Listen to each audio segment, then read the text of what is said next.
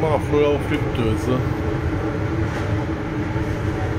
Așa se întâmplă când la școală, oameni fără școală și fără diplome să umble la instalația electrică.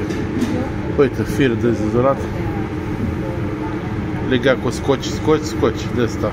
Izolier band din aia de cea mai proastă calitate. În loc să pune rigletă de ceramică. Protecția care era de supra încălzirea acestei fripteze care ar fi protejat să nu ia foc e tăiată, altă protecție la fel tăiată, asta e protecția de reset.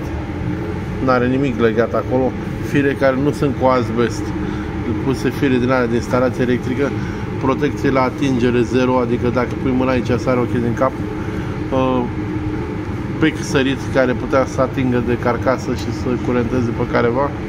Și nu știu, alt fir din ăla de proastă calitate de instalație electrică în loc să fie fir de asbest uh, pus aici în instalația asta care a, din fabrică a avut fire din astea, cum să văd așa, de asbest.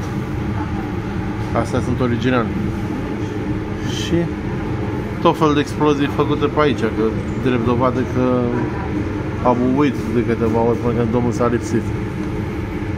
Învățare de minte să mai primiți oameni fără școli și fără diplome. Dacă nu are măcar 3 diplome în domeniul electric și vreuna recunoscută internațional, care a lucrat într-o altă țară, s-a recunoscută de Academia din Anglia, nu îi mai primiți. Nu îi mai primiți, că mulți dintre ei își cumpără diplome de la chioșcurile de ziare. Nu-i mai primiți la dumneavoastră. Cereți un portofol de lucrări, cereți uh, să vedeți și dumneavoastră 100-200 de videoclipuri cu lucrările făcute, cu calitatea lucrării, să vedeți dacă a făcut treabă bună sau nu a făcut treabă bună pe unde a lucrat. Că dacă nu are un portofoliu de cel puțin 200-300 de lucrări, nu mai primiți pe la dumneavoastră, că vă omoară să vă omoară un angajat și mai grav.